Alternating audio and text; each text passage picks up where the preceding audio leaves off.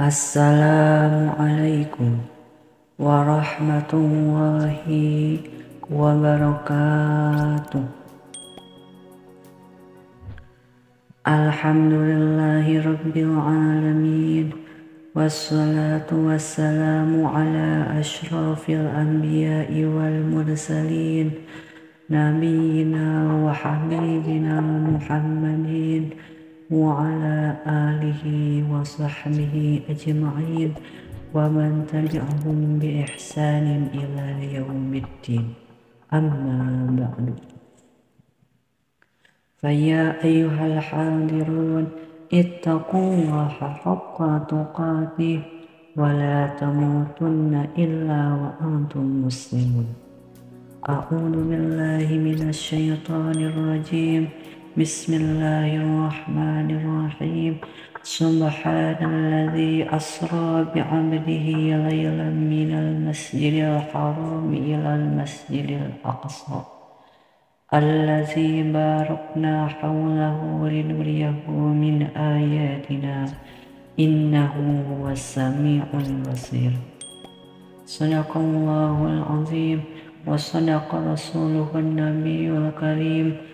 ونحن على ذلك من الشاهدين والsyakirين walhamdulillahi rabbil alamin Puji anu jantan mimiti ngaji anu biasa diaji ku para nabi para wali para kiai para santri Behdieuna aku urang salaku jalmi anu ngahoyongkeun ridho ilahi muga tetap kedat Allah Rabbul Ijati Punja anu biasa dibaca ku para anbiya, para syuhada, para aulia, para ulama, beh dieuna ku urang salaku jalma anu hoyong bagja lebet kana sawarga muga tetap kerat Allah aja wajalla.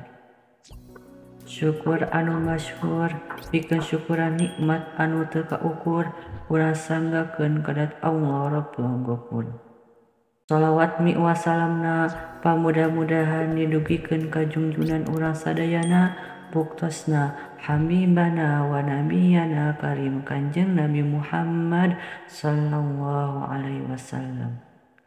Ongge tehilap ka para keluargina, para sahabatna, para tabiin sarang tabiatna, turadugi ka urang selaku umatna anu pamudah-mudahan ngingkeun syafaat umat mantana. Amin ya Allah ya rabbal alamin. Hadirin wal hadirat rahimakumullah. Niti wanci nu mustari ninggang mangsa nu utama titis tuli ti ajali kudrat nu maha kawasa. Alhamdulillah urang sadayana tiasa kempan di ieu tempat.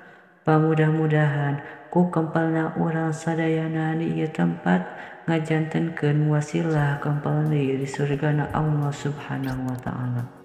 Hapunten anu kasuhun nada jembar anu dipenta pribados ngadeg di payunan hadirin wal hadirat sanes kanten seja ngalaksanakeun tugas. Pikeun ngaturna i acara di nararaga di Isra sarang di Miraj kenana kanjeng Nabi Muhammad sallallahu alaihi wasallam. Nu insya Allah ayah sababar harupi acara anu badai dikapayunkeun di antawisna. Hiji pembukaan dua pembacaan ayat suci Al-Quran tilu sambutan-sambutan opat tabligul islamiyah lima doa tutup. Hadirin wal hadirat rahimakumullah supados tenyang kolong teing kana waktos Hayu orang sami-sami buka ieu acara. Namung satu acana supados ieu acara langkung barokah. Sumangga urang kawitan ku ngawaskeun basmalah sasarengan Bismillahirrahmanirrahim.